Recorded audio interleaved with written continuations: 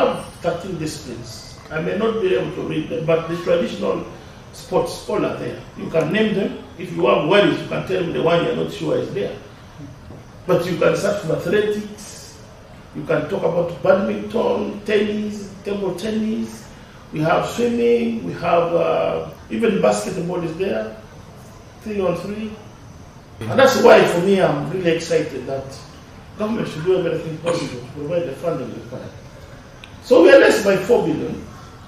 The other 500 million we have asked some supplementaries to support uh, Netball because Netball, they have, uh, I've got a letter just last week.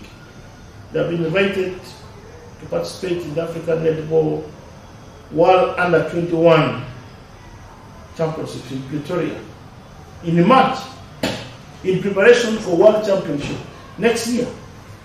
So if the team goes, they will be making their first appearance in the World Championships. And Uganda is a very good team.